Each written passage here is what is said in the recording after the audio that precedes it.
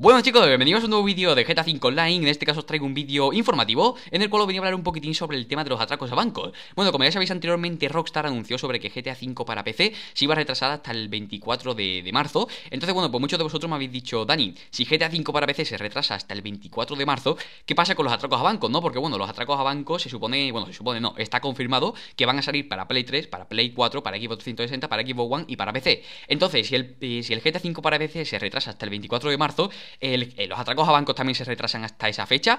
Pues no, chicos, Rockstar ha dicho que eh, los atracos a bancos los van a publicar antes de que salga el GTA V para PC. Bueno, lo dicho, el GTA V para PC sale el, 24 de marzo, por lo tanto, pues eh, se podría confirmar que antes de esa fecha estarían los atracos a bancos disponibles en en las plataformas de Play, Play, bueno, de Play, de Xbox. Entonces, bueno, pues realmente eh, muchos de vosotros me estáis preguntando esto, entonces puedo deciros que sí, que Rockstar ha dicho que antes de que salga el GTA V para PC van a estar los atracos a banco, porque bueno, recordamos que anteriormente Rockstar dijo que los atracos a bancos iban a estar a principios de, este año. Entonces, bueno, pues todo el mundo se imaginaba que a principios de este año era en enero, pero bueno, en, enero yo pienso que los atracos a bancos no lo van a meter ni de coña. Entonces, bueno, yo me he ido al, al, año de 2014, eh, bueno, ya sabéis que el GTA V salió en, en 2013, si no recuerdo sí, sí, en 2013.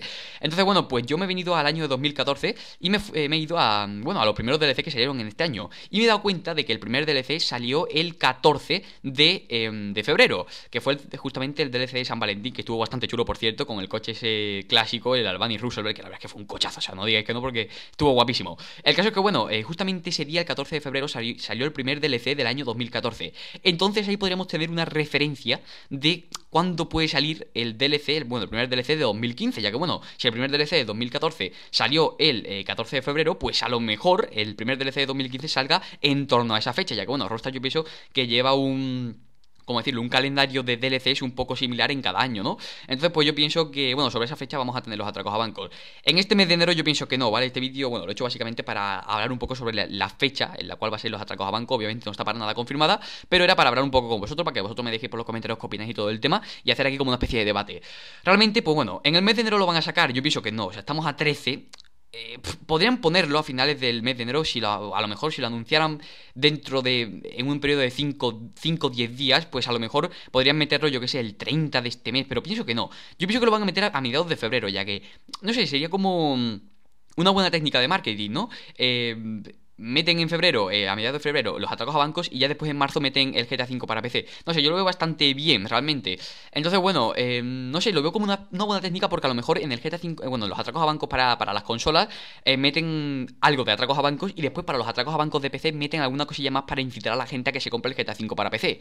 Entonces, realmente, como digo, lo veo una técnica de marketing bastante buena y no sé, como acabamos de salir del DLC navideño, pues a lo mejor lo ven un poco precipitado de meter los atracos a bancos en, este mes de enero.